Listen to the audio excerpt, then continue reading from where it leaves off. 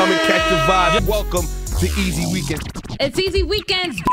Cats can't see me. Yo, Yo. listen, ladies and gentlemen, welcome to the sit down. We back at it again. Um, make sure you like, subscribe, all that YouTube jargon that they be talking. Appreciate you. Um, Believe today, joining me is um somebody that was very instrumental in my early career in Oh. radio. I like that talk. Um, I, I uh, my first radio gig was in Philly. Um, Sarah, Lady O was the PD Mm. Lady out there O. in Philly. She gave me my first shot, and when I touched down in Philly, she goes her and Q Deezy because Q Deezy was Shout also the Q, legend. an- another one. Super he- legend. they both told me if you want to be good out here, you got to go see Tone Trump. Tone Believe Trump that. is the king of Philly. You got you got to go see Believe Tone. that. I went to go see Tone Trump. I interviewed my man and History, a lot ever of history. since. I, I've always my door's always been open to you, Tone. Absolutely. ladies and gentlemen. At one time for Tone Trump. Oh yeah, the top ock is in the building. New York City, New Jersey, Philadelphia, tri-state. I'm in the building with my brother to the whole world. And um, I, I want to give a big shout out to you for you said something key. You said my door is always open, and in this industry that we in, that's a rarity. So I salute you for that. So whether I'm in a blockbuster movie like Creed, I can call you. Whether I'm falling back like I am right now for Ramadan, I can call you, and I appreciate that. I don't I don't undervalue that at all because I'm somebody that's been in this game long enough to where I've had interactions with pretty much everybody, from interns to Jay Z. I've been in the building, you know, on phone calls with 50, all types of stuff, and it's very rare. You know what I'm saying? That's why I miss the, the legend K Slay so much because he was just so genuine peace, and so real. You know what I'm saying? And you you, you don't find it in this game. So I want to salute you, bro. And, and I've been watching you do your thing. Anytime I seen you, you know, on the behind the scenes of other shows on this on this amazing platform, I'm always proud. I'm like, yo, that's my bro. So keep going, keep winning, bro. Thank you, thank you. Um, Believe that. Before we get into the important business, Yes, sir. um, I I recently um left my allegiance of the Brooklyn Nets.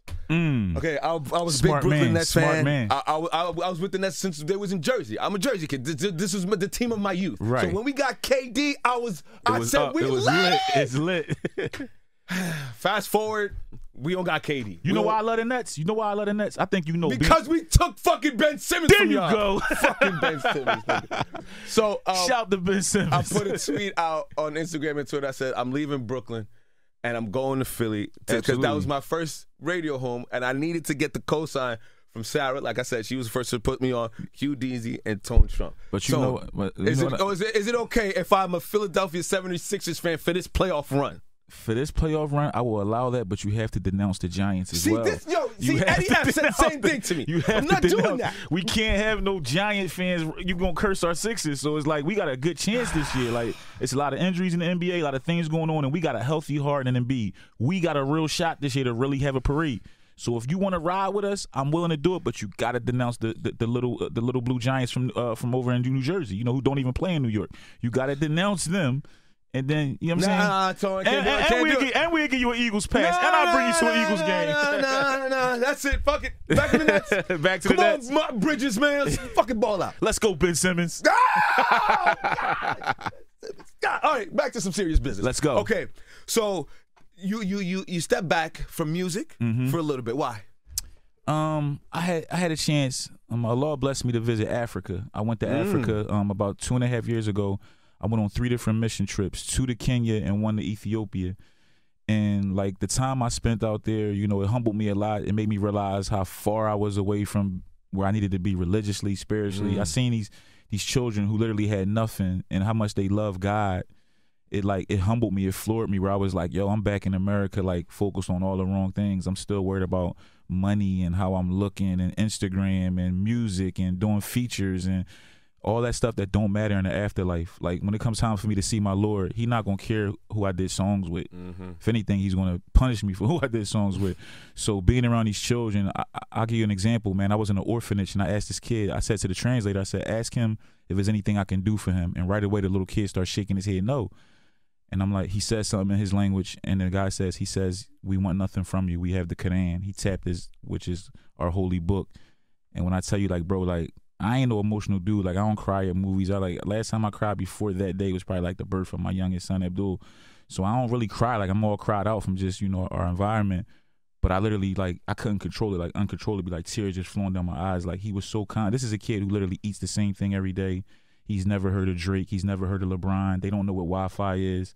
They literally study Quran all day. No toys in the whole orphanage. No devices. These kids got bunk beds and their word of God, and none of them was complaining. None of them was sucking their teeth. You know what I'm saying? So. Mm for me, when I came back to America, I really wanted to take a break from the nastiness of social media, the nastiness. This the music industry is Hmm. I was in the streets before I was in music, and I tell people the, the music industry is worse than the streets. Absolutely. You know what I'm saying? Absolutely. Especially right now, you know, New York is looking crazy right now. I'm sure, as you know, you look on the internet and stuff like that, and it, it hurts me because New York is my second home, and I see different things. You know, you got arrogant rats, and you got dangerous rats, and stuff like that. So it's like the streets are officially, you know, over, and we got to, we got to, you know, and, and that's one of the reasons why I'm coming back to music and coming back to entertainment because I have a powerful message, and I want to really, I, I'm not going to wait like some other dudes to get in a situation and then become a rat and then say the streets are not what it is. I'm gonna mm. tell y'all why my name is in good standing. Like I'm a man of respect, a man of honor. I'm a Muslim, and I'm letting you know now. I've never told on nobody. I've never ran, but I'm also gonna tell you you're crazy if you want to be in the streets right now. It's a reason why they call it trapping and trap. They trapping us up. Everybody I talk to, I talk to real kingpins who tell me, man, if I can go back, bro, I wouldn't go near a drug. And right now, it's not even the risk. Don't, the risk and the reward don't even add up. Dudes is out here. You know, you can go on the internet and sell some shirts and make more money than you can sell selling drugs right now. So I just want to, you know, I just want to, you know, why, why, why, why, you know, I have a chance and a platform and a name and a voice and a clean face. I want to encourage the youth in the right way and, and, and, my people in general, even people my age and older. I want to encourage them in the right way because I've seen it all in this game. You know what I'm saying? And I want to be able to educate, entertain, and empower. So, what's the message this time around? the message this time around is just you know be be be understanding, be patient, and realize God is with the patient. That's my message really right now for the month of mercy and the month of Ramadan is just be patient. Whatever you're going through, whatever you're dealing with, whatever is good or bad, thank God. Like I, I say, alhamdulillah for the good, alhamdulillah for the bad. Last year during Ramadan, it was the worst Ramadan of my life. But I ain't give up. And guess what? This year, Allah's blessed me with the best Ramadan of my life. Mm. So a year later, it's all switched up. Last year was a dark, dark time in my life. I couldn't even pretend like I was okay on social media because I wasn't okay. I was feeling guilty for like eating food. Like I was feeling like I, I literally met a lady who said every day I, she drinks goat milk and she has like this thing that's like a paste that's like would be like rice for them, but it's literally like garbage. Yeah. You know what I'm saying? Like yeah. so and she she was smiling and she prayed for me. She grabbed my hands. This lady with nothing grabbed my hands and prayed for me. And for me, I, I get chills every time I think about these people. You know, and um, the, when I say these people, my people, I'm speaking about Wajir County, and it's a it's a part of Kenya that's so that salute. Like, and uh, I was I was blessed to work with Muslims of the world. We helped raise millions of dollars for those people, and it's still not nearly enough for what they need and different things they need. But um, my message to my people and to my culture is just sabr which is an Arabic word for patience. Be patient because God is with the patient. Whenever we rush, why you think we always mess up when we rush? If you rush out the house, you leave something. If you rush down the steps, you hit your foot. If you rush, which it, it never goes good. Rushing never goes good. Today, I took my time. You told me to be here at two thirty. I'm coming all the way from Philadelphia. I was parking at ten after two. You know why? Because I didn't rush. Mm. I prayed. I took my time. Got the kids ready. Got everybody settled and scheduled it out. My Mashallah. you said something that I'm gonna take to my son. Mm. Uh, I had my son with me this past week, and um, I love seeing you with your boy, man. I, I see you. I, I, could tell it. It, um, it, it, it screamed through the phone, bro. And um, he's giving me like arrogant vibes. Like he's he's not appreciative. Like we had a party Sunday, we went to Chuck E. Cheese, the next day we went to the like, and then on, on Thursday he's like, I'm like, yo, fam, yeah, mine, mine too, bro. But and, but but my my my mental my messed up psychological psyche as a dad is. Damn, I got to do more. the minute he's yeah, yeah, yeah he's gonna yeah, go back yeah. to mommy and oh I didn't do nothing, bro. That's another form of or PS whatever that thing yes. is. That's another form of that for us. But what you just said to me right now is mm-hmm. I should have done the opposite. Showed them the party, the, the, everything that you had, and then I should have brought you to where these kids have nothing for you to appreciate what you just went through. That's why I bring my kids when I feed the homeless because my my kids usually have an issue with wasting food. Daddy, I'm done. Oh, my, my daughter, the, you know what I'm saying? she takes a couple licks of the lollipop yeah, and throws yeah, I'm, I'm like, done. yo, fam, don't ask me for no candy the rest of the day. And then, you know what I did? I showed my kids, the children in Africa, and I, sh- I took my kids to a section of Philly called Kensington, and I let my kids hand waters and stuff out. And my kids got back in the truck and was like so shocked. And these, and, and these are young babies at the time my kids were like, this is like two years ago when I first took them out to help me serve, and they were like four, I bet. So, six, and like nine. You know what I mean? Like okay. around them ages, and, and, and, it, and it really touched them. Like you know, my son really, he they couldn't fathom it. Like you mean what? What's homeless people, Daddy? Homeless people don't have a home. They don't have food. They eat out the trash can. They this, and I'm explaining it, and then you know what? Subconsciously now, he gets to the end of his food, and I said, "You done?" Almost.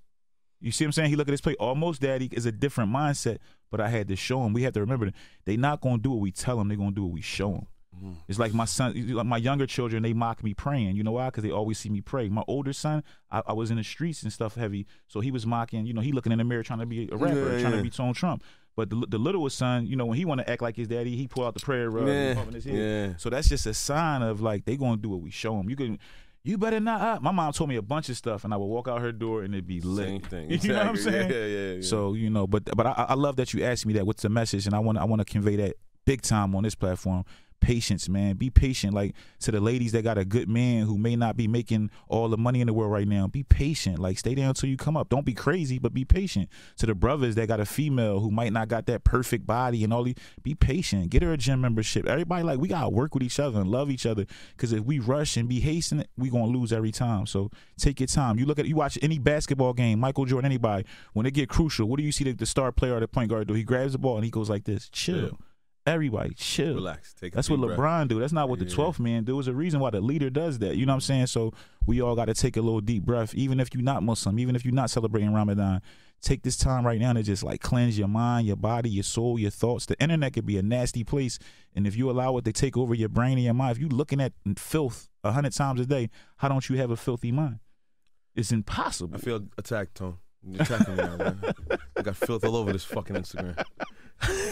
Because you know what it is, you know, Instagram is so wicked. You know how like if you like something, then it's gonna show you a hundred things Like of for you, similarity. yep, mhm. So you like one BBL, you got BBLs on your timeline for three days in a row. Uh, ready? Uh, again, I'll be oversharing, but my wife is like, I know when you be liking these little pictures when you're at home. I'm like, what you talking about? Because my explore page is nothing but fucking bitches, There and that's go. you. How There to be you- liking them? I'm like, There so you how does my explore page affect you? Shit, because we're on the same Wi-Fi. I'm like, Right, right, fellas, fellas. message. Anyway, um, okay. rap. So we talked about the message that you that you're conveying now. Mm-hmm. Now you're leaving here to go be a part of. uh Go ahead, I'm gonna let you tell it. Um, I'm glad you asked me this, man. Mashallah. We had a situation just yesterday where um, a young Muslim sister, 16 years old, was at her job, a, a place called Michael's Family Restaurant and Diner in Glenside, Pennsylvania, which is suburban Philadelphia. It's Facts, right- put a picture of the place right there. put a picture of the place right there because by, by the time they see this, hopefully this place is either shut down Hopefully. or have done something. To, Well, hopefully we to- can to- help if it's to- not. to- yeah, right. So uh, they somebody the manager, I want to say the manager at the time asked the young lady if she could take her hijab off.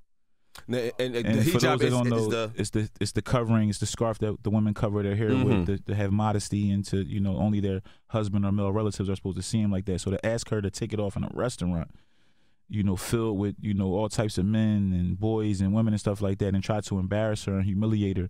And to the young sister's credit, she stayed strong, she stayed sturdy, she didn't give in, she didn't take her hijab off.